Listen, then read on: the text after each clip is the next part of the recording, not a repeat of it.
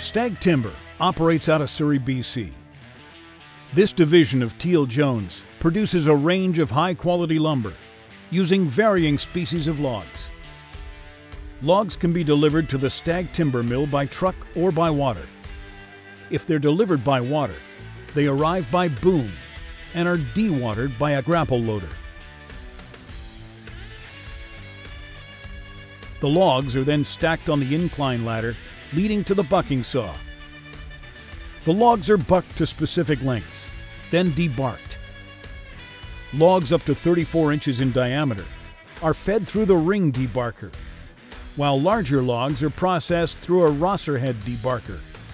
The logs are then loaded onto the carriage and scanned by a Keta log optimizer.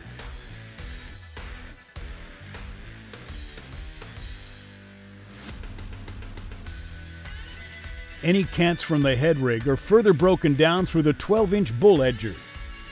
Correctly sized and fully manufactured pieces are sorted at the unscrambler and directed toward the trim saws. Pieces requiring further processing are dropped out at the drop sorter.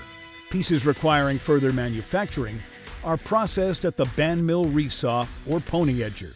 The lumber is then trimmed and sent back to the grading table. Certified graders mark the lumber and scan it before it's taken to the appropriate lumber bin. Full loads of graded lumber are dropped out of the bins and transferred for stacking. Once stacked, the lumber is tallied, anti-stain treated, and packaged before storing it in the lumber yard for shipping.